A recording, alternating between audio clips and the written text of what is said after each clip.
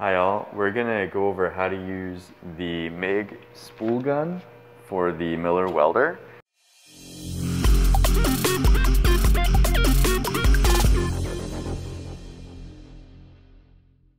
Uh, the spool gun is used for welding aluminum, which is softer than steel. So if you try to run aluminum all the way through this long cable housing, it would bend and get tangled and, and be a mess. And so the spool gun keeps the spool of aluminum right here, and then only has to, has to feed it out just a foot to get to your material. So this is a really cool tool because it lets you MIG weld aluminum. So you don't need to be really good at TIG or anything to, to do that.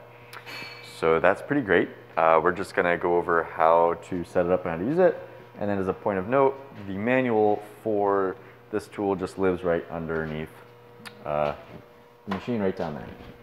So first we're gonna pull this out here and open up the inside to remove the current spool, uh, the current MIG gun. And now we're going to pull this wire out. So first we're gonna release this guy so that we can retract the wire. So before taking this off, we need to snip the end of the wire because there's probably a bead at the end and that's gonna prevent it from pulling out. Okay, so we got this wire, now we can snip it off. And now we should be able to loosen this so that the wire doesn't spin free. We're just going to use our other hand to hold onto the spool.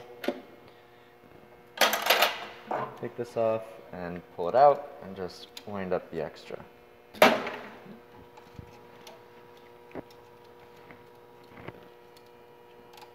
Okay, and then when it's out, you just need to make sure to put it through a hole in the side so that it doesn't go flying away. Like that. Okay, and then we're just gonna put this over on the shelf for the next person. So now we are gonna load the spool gun in. So we can remove this torch. First by undoing this connection. And by loosening this thumb screw and pulling the torch out.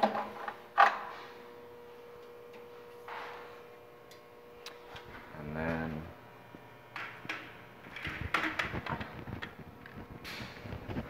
so now we have the spool gun and we're just gonna do the same thing in reverse. So we can take this rubber cap off and put that on the end of the other piece, the one we just took off.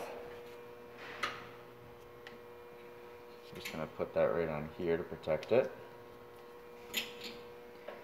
And load this in through the front of the machine.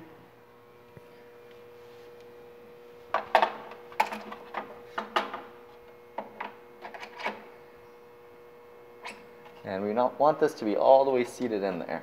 So both O-rings are fully in. So you want it to be fully seated. Then tighten down on this. Uh, the reason it's important that both O-rings are in is so that it gets a good seal and the gas can be put in. Unlike the other one, there's no hole here for the wire because the wire isn't coming in here. The wire is coming in at the spool gun at the other end. So we don't really need to worry about that, but we can just close it up and then make sure to plug this in because this is telling from the trigger when to turn the gas and electricity on. Okay, so that's all set there, so we can close this up. So now we're going to look at loading the spool gun. So the aluminum lives over on the shelf and it actually lives in a plastic bag because we want to keep as much of the oxygen away from the bag, away from the aluminum as we can so that it doesn't oxidize.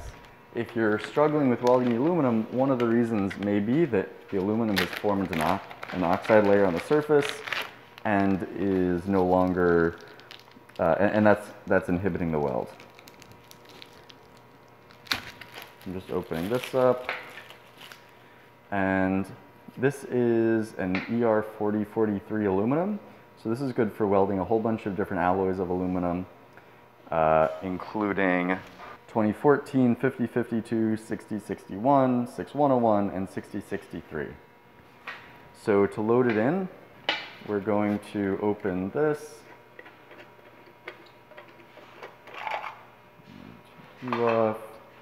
and then we're gonna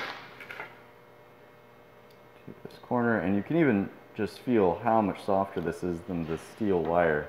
It's very soft. I'm just gonna use pliers to snip off the end. So to, to load the aluminum on here, we first want to make sure that this top nut is loose. This is pushing down on this metal sleeve, which is then squeezing this rubber, and that's what's going to hold the aluminum spool on at the right tension. So we need to make sure it's loose, then we can slide this down on there, and then we'll start by taking the aluminum off here, and we just want it to have a slight tension.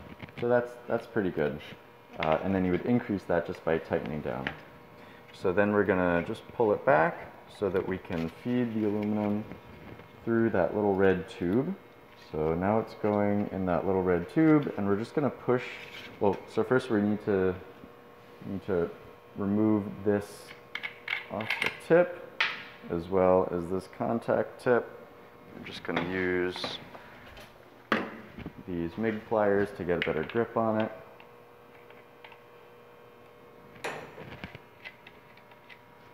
And now we're going to squeeze this red lever on the top and we should be able to feed our wire through. And it might actually be easier to do this while the spool is off. I'm just going to take this off again, snip off the bent a little bit. I'm just going to bend this wire a little bit straighter so that it can pass through a little more easily.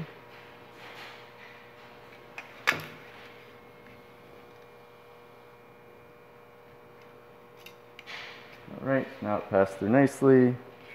And oops, coming out the tip. Hmm. So this metal spring is coming out, so we're just going to push that back. And now this is out, so now we can load the spool back into here.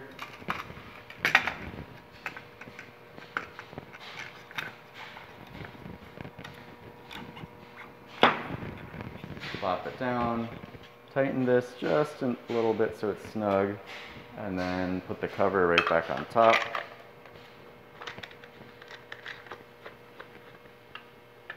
Then we're going to put the contact tip, slide it right onto our wire,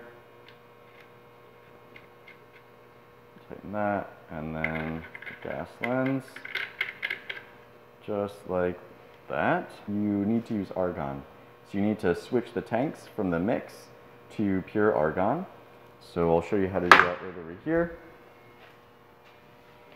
So obviously we want to make sure that the tank is off. Uh, and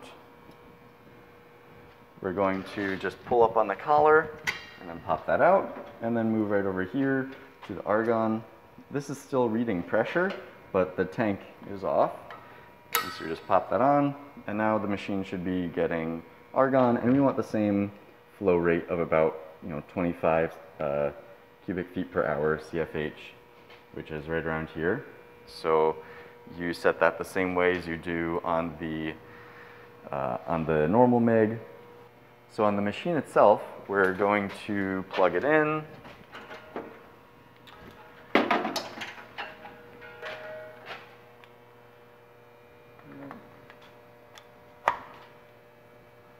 that's tight. And then we can turn the gas on.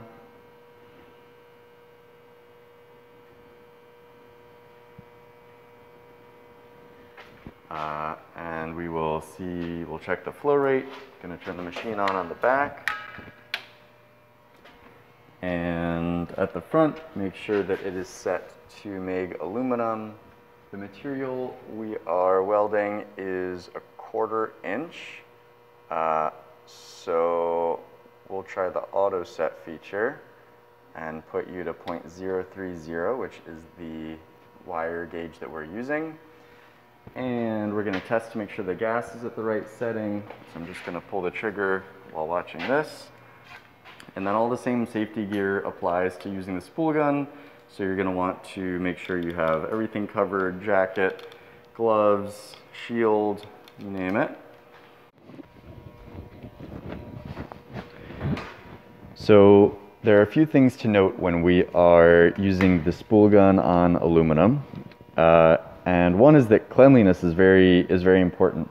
So we're first going to use some isopropyl alcohol, but you could use acetone or maybe even simple green uh, to clean off oil. Then we're going to use the stainless steel brush labeled just for aluminum. And we want to get it so that it's not glossy anymore. We want to make it dull looking. Making it really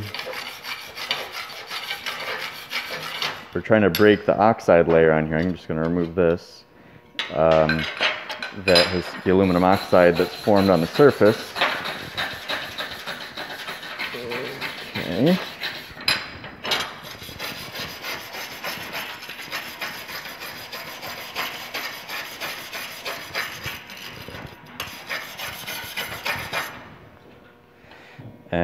I'm just setting this up at an angle so that you can see it a little better. Uh, it's important to have a really good ground connection. So you want to make sure to, to get that. Try to clamp directly to the material when you can. And there's that, and that should be pretty visible to you. It's a little awkward for me to weld.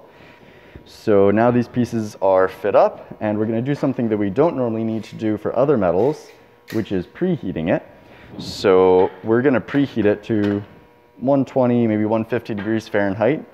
Uh, we're just going to use a propane torch, but you could also use oxyacetylene with a rosebud tip uh, or other um, another way of preheating it. You only really need to do this for thicker pieces of aluminum. For thinner pieces, it's not really necessary.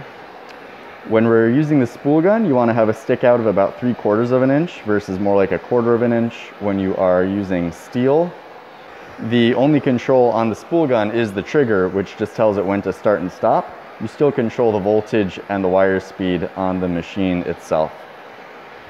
Uh, frequently, what will happen, one point of frustration with using the spool gun is the contact tip will, um, will get dirty. So you can either clean it out with these guys or you can just replace it and that can help um, make the welding easier. And also, as always, make sure to use the snips to clean the ball off the tip um, so that it starts nicely. So we can use the thermometer. And it's still not quite hot enough. It's a big chunk of aluminum, so it'll absorb a lot of heat. Obviously, we're going to make sure to use the fume hood. All right, so we're at a pretty good temperature. Now we can try welding. And as I said, we want to be using a push motion. Um, so still tilt it a little back, going forwards, and keep about three quarters inch away from the material.